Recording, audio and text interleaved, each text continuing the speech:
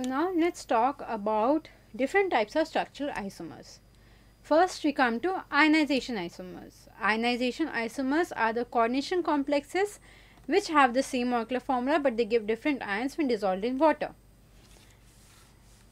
Like if you talk about like let's say uh, there is an octahedral complex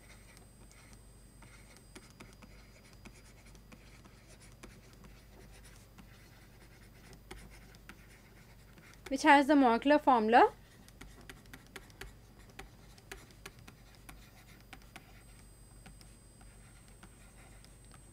That means it has 5 molecules of NH3, 1 chlorine and 1 SO4.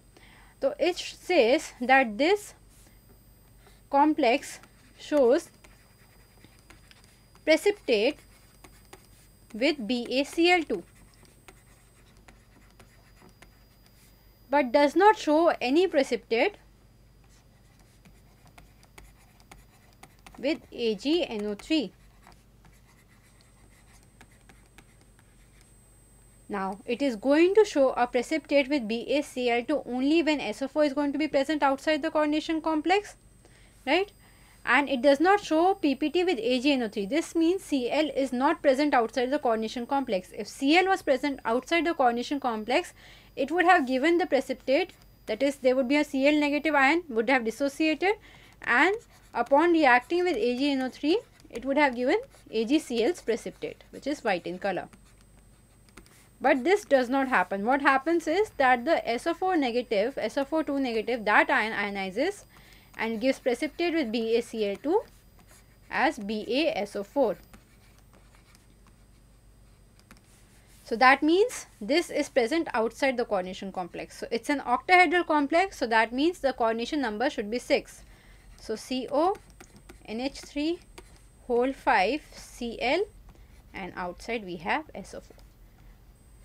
Now, if I say that instead of one second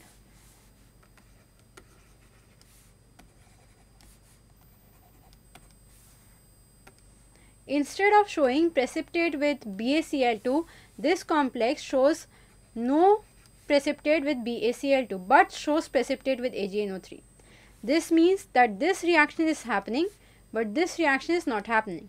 If it is not showing any precipitate with BaCl2 that means SO4 negative is not getting ionized. And if it is showing precipitate with AgNO3 this means Cl negative is getting ionized. So according to it the complex should be CO NH3 whole 5 SO4 Cl negative. So you can see that these both are said to be ionization isomers.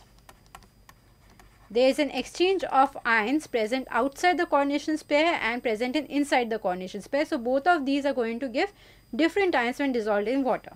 So, these are ionization isomers, but you can see that the molecular formula is the same.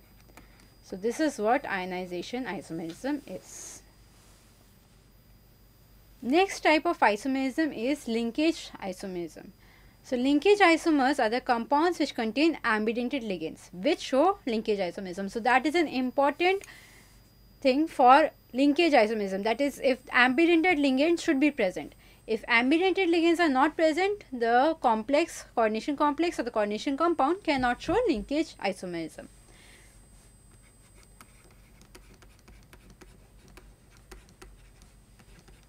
Now, here NO2 is an ambidentate ligand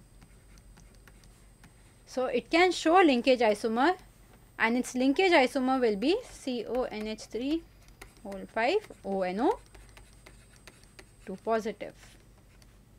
Similarly, if we talk about CO NH3 whole 5 SCN 2 positive. SCN is an ambidentate ligand. So, its linkage isomer is going to be CO NH3 whole 5 NCS 2 positive. So, this and this are linkage isomers of each other, this and this are linkage isomer of each other. Remember these have no correlation with each other, only this and this have correlation with each other and this and this have correlation with each other.